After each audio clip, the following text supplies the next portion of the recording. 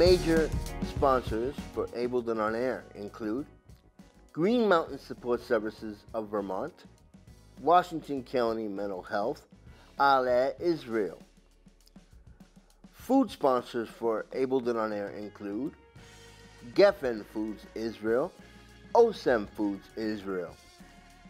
Major media sponsors for Abled and on Air include Parkchester Times, Muslim Community Report, www.thisisthebronx.info, Associated Press Media Editors, U.S. Press Corps, Domestic and International, Anchor FM, and Spotify. Hello and welcome to this edition of Abled and on Air, the one and only program that focuses on the needs, concerns, and achievements of the differently able in Vermont and beyond. I've always been your host, Lauren Seiler, and Arlene's here today. Say hi, Arlene. Arlene Seiler. Okay, how you doing today? Very good, very good. Okay, on today's program, we we focus.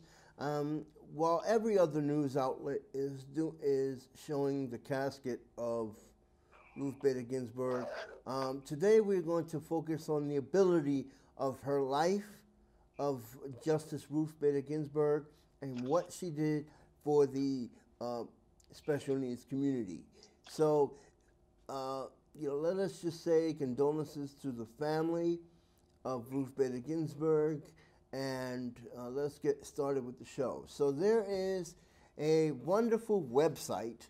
Um, uh, you can go to www.accessiblesociety.org. That's A C C E S S I B L E society.org. And there's a wonderful website called the, uh, the Center for Accessible for the Center for an Accessible Society Disability Issues Information for Journalists.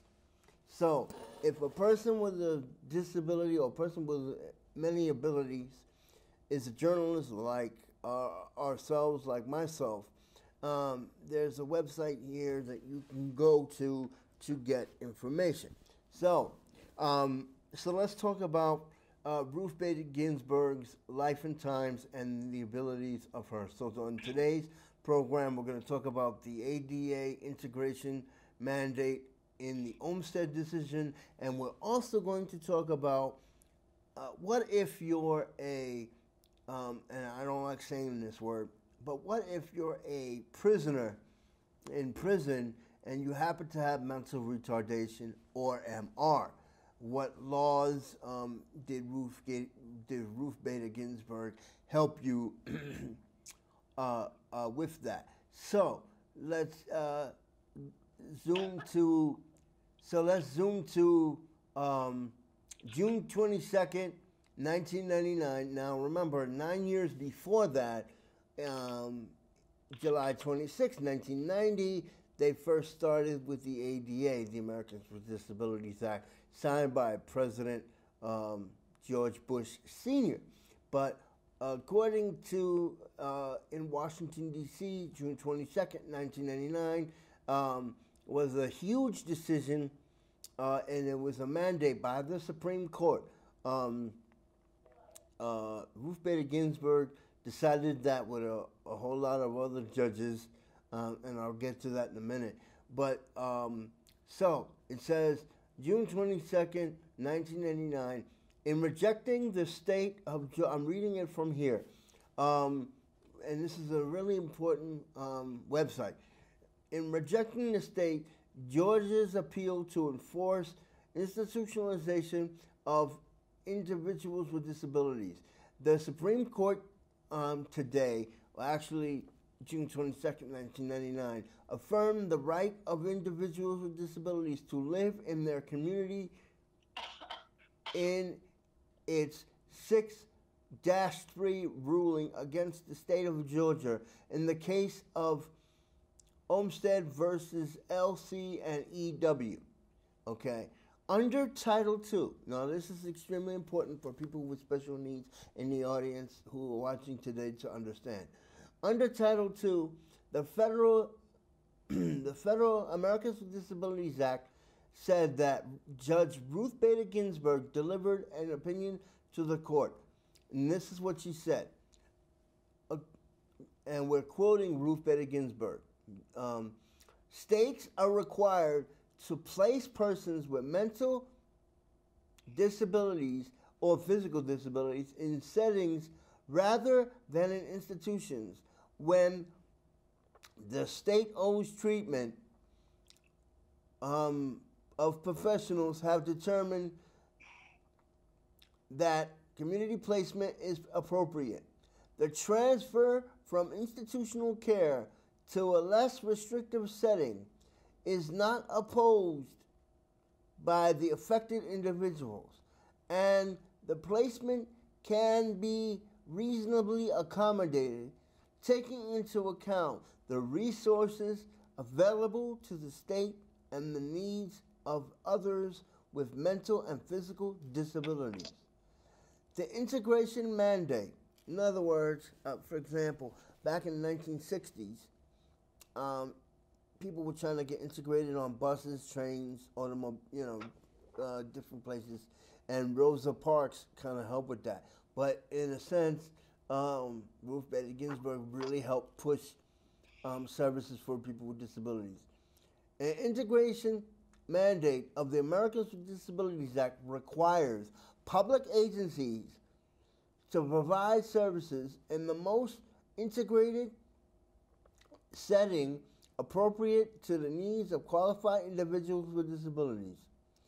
The High Court upheld that the mandate ruling in Georgia's Department of Human Resources and could not segregate two women with mental uh, with mental disabilities, mental or physical disabilities, in a state psychiatric hospital after the agency's long treatment of professionals have recommended their transfer to community care. In other words, um, everybody's mandated to have community integration.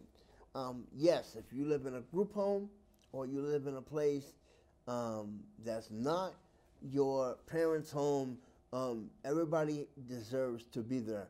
Anything you want to say regard uh, regarding the integration uh, and community resources for people with disabilities? In terms of Ruth Bader Ginsburg? Yes, Ruth Bader Ginsburg stood for women's rights, and she also did a variety of other things, but she remembered that she did a lot of things. She pushed, she pushed, she pushed, you know, she she spoke out, you know, she didn't want she dealt with the law, but she she she pretty pushed. She was a pusher, but she she was very She was known as the notorious um, she was known as the notorious RBG, actually. Yeah, but she um, was a, a, a, good Jewish woman who pushed and pushed and made sure that women got the rights that they deserve, you know. Mm-hmm. So let's, um, this is, um, you know, this is extremely important. The lower courts ruled that the state, that the state of Georgia violated the ADA's integration mandate and Georgia appealed, claiming the rule could lead to the closing of all state hospitals and the disruption of state funding and services for people with mental and physical disabilities. However, the women were however women were supported by a number of states and disabilities organizations and others. Okay? The unjustified segregation of people with people in institutions and people with disabilities with community placement is appropriate constitutes a form of discrimination prohibited by Title II of the ADA. I'm going to repeat that again. When community, when community placement is appropriate and it constitutes a form of discrimination, it's prohibited by Title II of the ADA. Originally, 26 states have signed onto an um, amicus brief support of Georgia's position. However, an extended an extensive education campaign by disability rights movement reduced the number to just seven. So let's go down here, and this is um,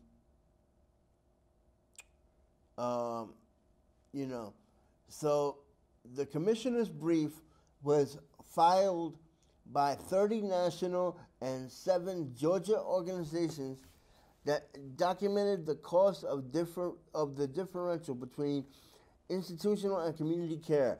So, community care and institutional living are two entirely different things.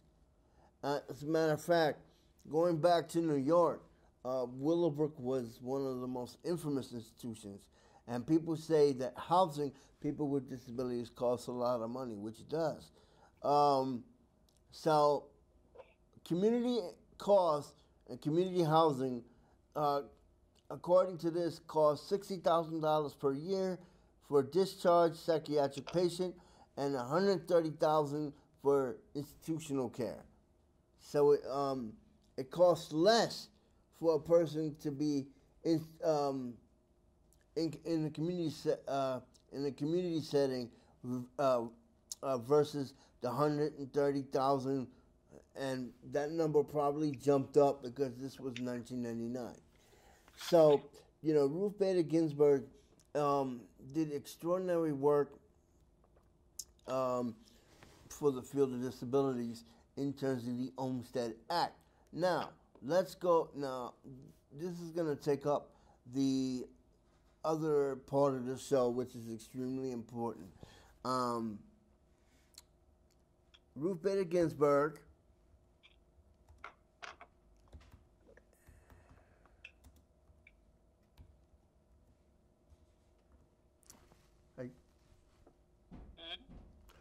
Um, I already took my temperature, Rob. Okay. Um, so Ruth Bader Ginsburg and the um, prisons of the Prisoner Act and people with disabilities. So let's take a look at that.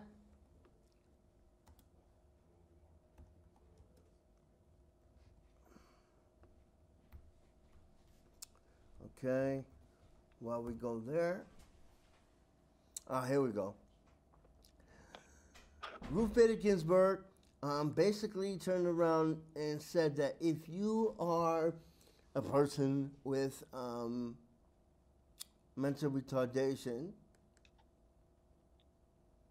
um, no, well, all right, let's take a look at this quickly, and this is important. Um, she was a feminist icon, and she basically um, dealt with issues of prisoners' rights and capital punishment. And basically said that if you are a person with mental retardation, you cannot uh, be executed. But she was an extreme feminist. This is coming from um, the Marshall Project, which is uh, a nonprofit journalism um, newspaper for criminal justice.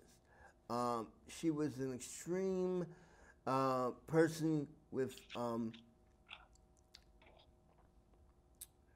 you know, dealing with prisoner rights. Uh, now, here's a, um, Ruth Bader Ginsburg on the rights of incarcerated um, individuals. When it came to prison conditions and the rights of incarcerated people, Justice Bader Ginsburg, uh, Justice Ginsburg simply wasn't as visible. And she wasn't the primary author of any blockbuster human rights and prison cases. But according to the San Francisco, um, let me go here. Don't rustle papers, please. I'm not rustling paper. RBG and mental retardation. Really concentrate on and here we go. Ah.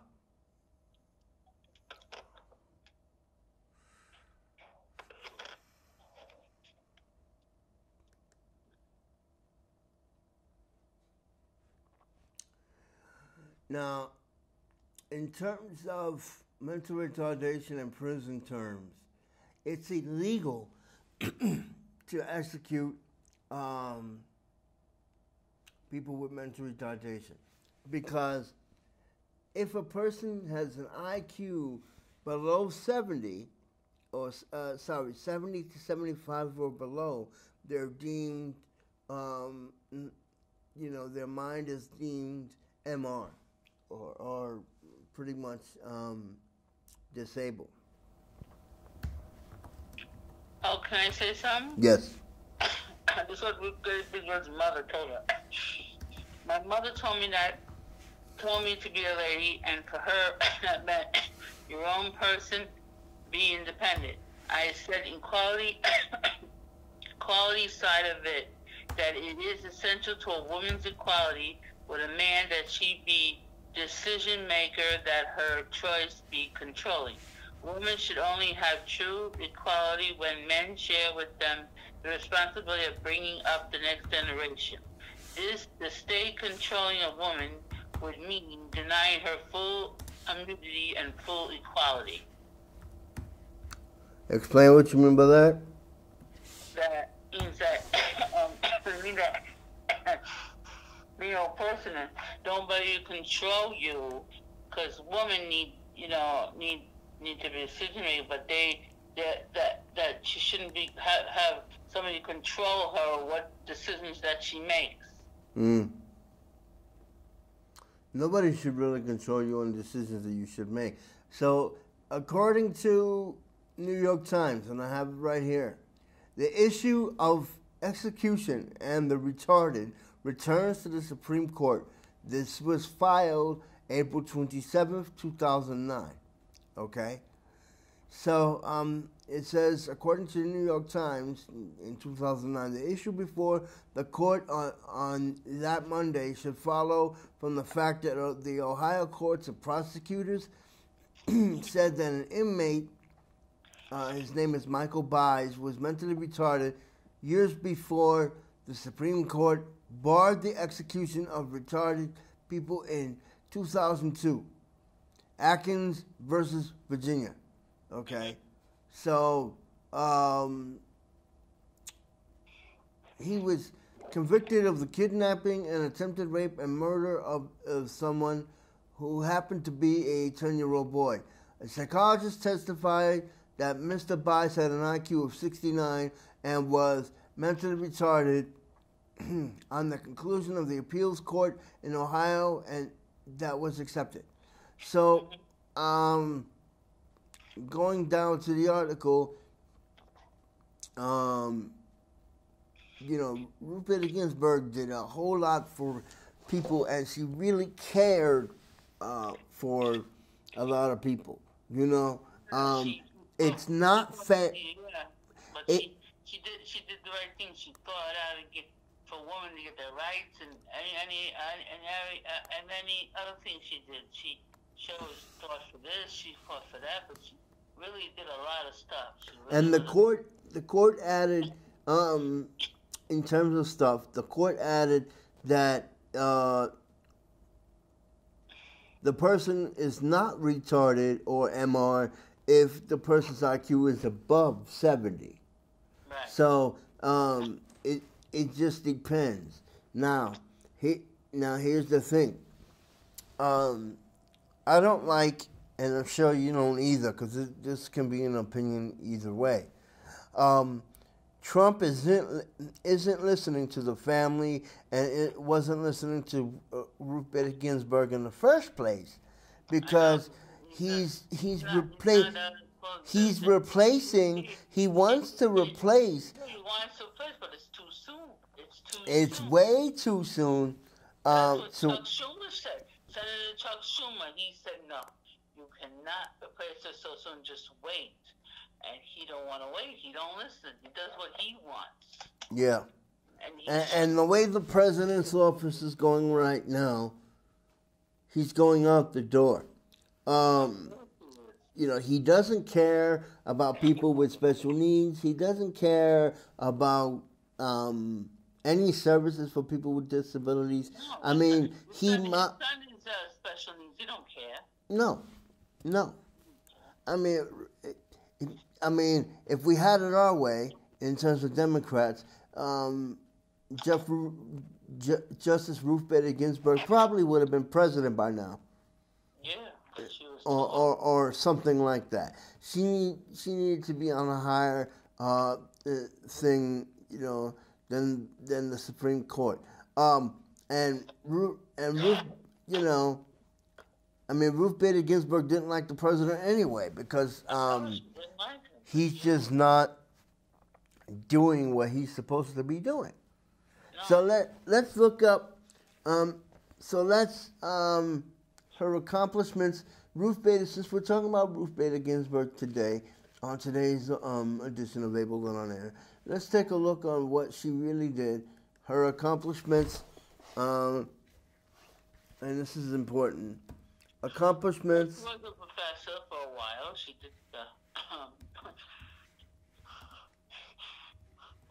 she was a professor in Rutgers, and, and she became a uh, professor in Columbia University in New York. So she was, you know, she was teaching law. She did a lot of things, you know. so according to uh, the National Women's Hall of Fame, because she's listed there, Ginsburg has worked her entire career to eliminate gender based stereotyping, including people with special needs, in legislation and regulations. Appointed Associate Justice by the United States Supreme Court by President William uh, Bill William Clinton in, in 1993, she's the second woman to sit on the bench and Jewish woman.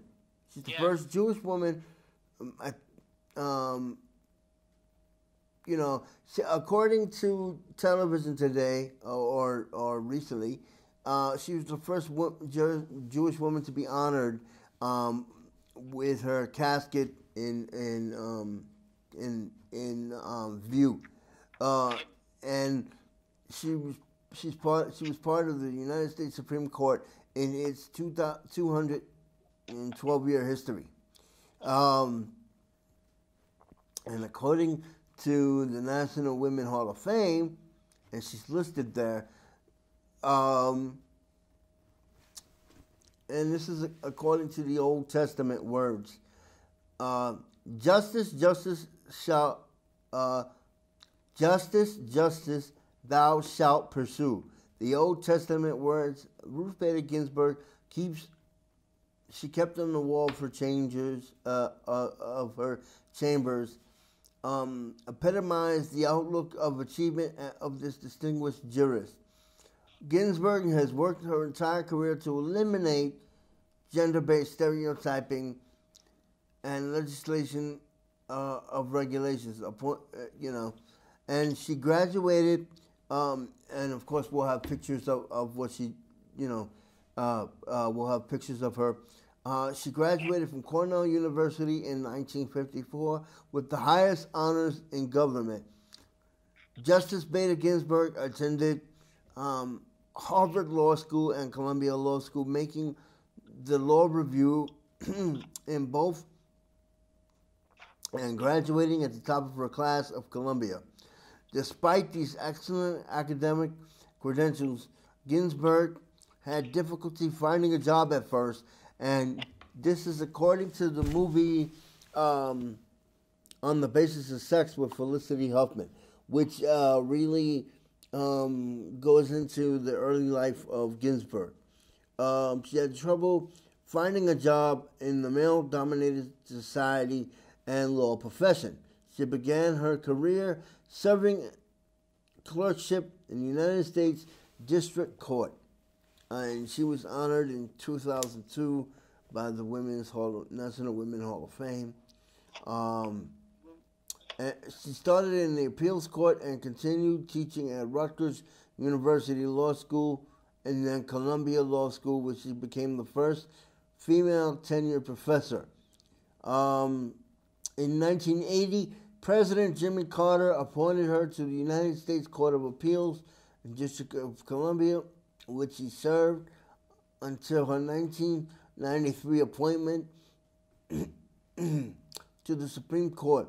Justice Ginsburg was known for her scholarly, balanced opinions and foresight, personal courage. Her a cancer survivor herself, she has assisted by example of frank discussion by the state uh, um, of her health diagnosis. So, um, yeah, uh, she um, she really did um, extremely um, good works, and she should really be. Um, uh, should be really remembered for her great accomplishments that she did. Yeah, and like, and the reason why we did the show today, in terms of um, disability law, is because nobody really knows that. Um, you know, in terms of advocacy, people really have to know what people with special needs really go through uh, when um, for community inclusion, for uh, different things that we uh, struggle with. Um, like now, uh, one of the biggest things, and we can talk about this for about nine minutes. One of the biggest things that people with special needs now are going through is appropriate appointment and appropriate uh, appropriate um, employment and appropriate wages. So let's take a look. Um, let's see, 14C, Vermont. This is the biggest law um, no, uh, hold on. Um, law and wages disabled. This is the biggest law, and I think um, Ruth Bader Ginsburg has a lot to do with helping people too. In in 1986, Section 14C was amended to remove the separation of workshops and work activity centers to eliminate any statutory wage floor for persons with disabilities in certified employment. Um, in theory, such workers were to be paid a wage commensurate to their pro- productivity. So, um, Uh, yes, supported employment according to DALE, uh, Developmental Disability Services Division, uh, DDSD, in partnership with its agencies and Dale's, because Dale's been on the show before, uh, um, Division of uh, Vocational Rehabilitation, has uh, helped individuals and Vermonters since 1980s um, they uh, basically uh, all these Vermont organizations turn around. Now, figure this: a person with a dis- a person with a special need goes into a workshop. What a workshop is, and we have six minutes left. We might go a little bit over here. Uh, a workshop is um, if you're putting together something. Let's say a tape recorder and you got to put the different parts together. The person that does it the fastest gets paid the most. That's not fair. Do you think that's fair? No. You know, um, these supportive employment workshops, you know, these workshops were paying people $3.25 an hour or less. So why can't a person with a disability get 15 16 $17 an hour? Um, it, you know what I mean? So, Section 14C most Vermonters heading off to work are unaware that a contentious national debate is brewing over the injustice causing caused by for, Section 14C of the U.S. Fair Labor and Standards Act, a labor law permitting sub minimum wage, sometimes less than a dollar per hour be paid to workers with developmental disabilities. I don't want to get paid a dollar an hour.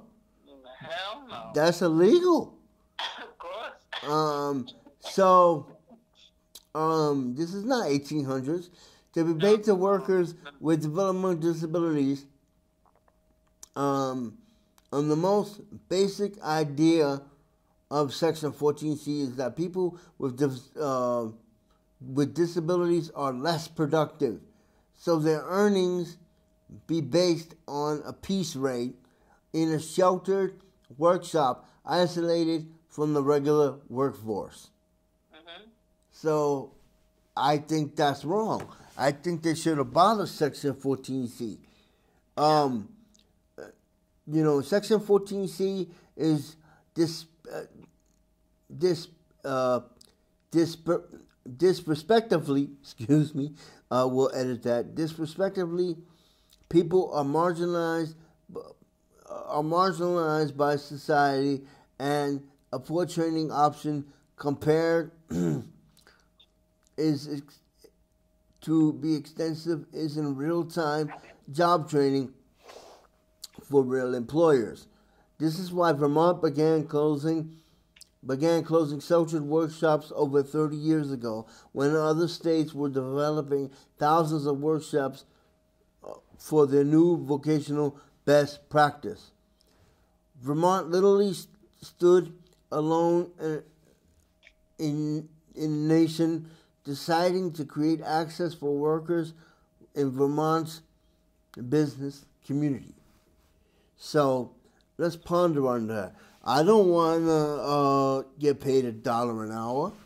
It, uh, I mean, this is just ridiculous. So, um, in terms of that, I think um, it's best that um, 14C gets ab- abolished, and um, I I think in my journalistic opinion and my wife's journalistic opinion, people with special needs uh, deserve a regular wage. It doesn't matter how smart you are, you know, what's your IQ, if you went to college, if you went to school, or what have you.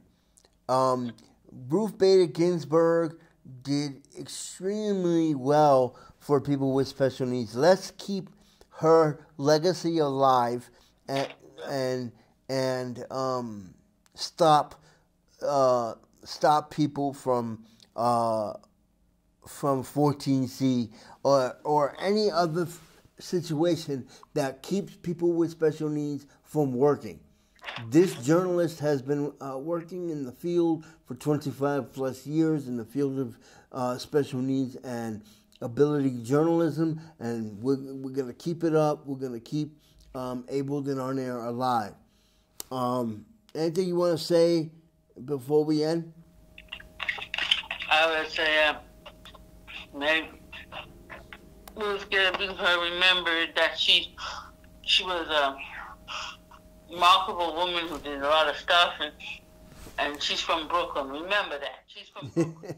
Huh? um, yeah, we're gonna have pictures of Ruth Bader um, Ginsburg. she was a tough Brooklyn Jewish woman, and she, Before before we end the show, um, I want to send my condolences to her family and mhm. say that she was a remarkable person. Okay.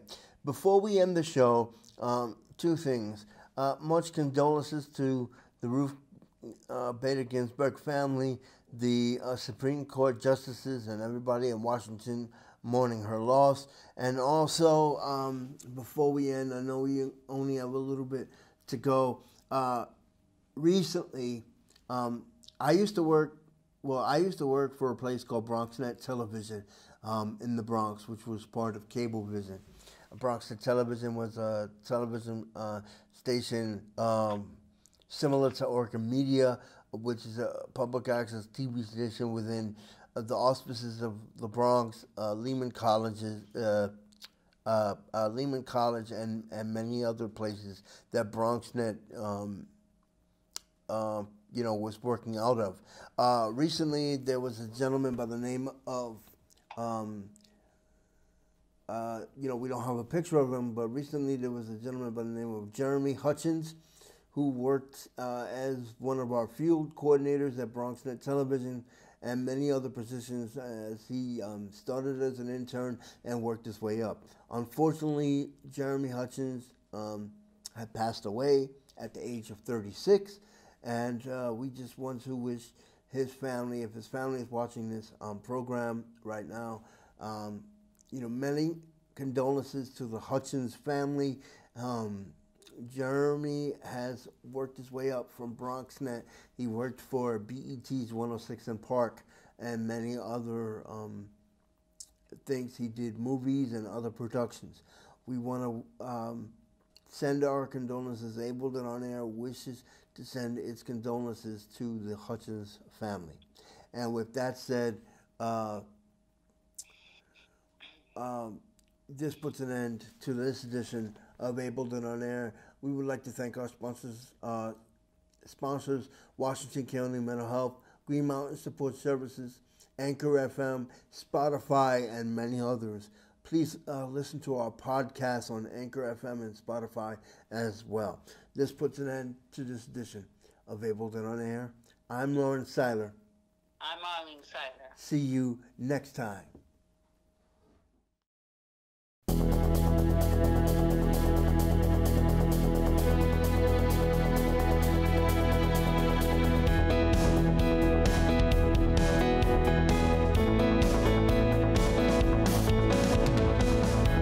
Major sponsors for Abled and on Air include Green Mountain Support Services of Vermont, Washington County Mental Health, Aleh Israel. Food sponsors for Abled and on Air include Geffen Foods Israel, OSEM Foods Israel. Major media sponsors for Abled and on Air include Parkchester Times, Muslim Community Report, www.thisisthebronx.info, Associated Press Media Editors, U.S. Press Corps, Domestic and International, Anchor FM, and Spotify.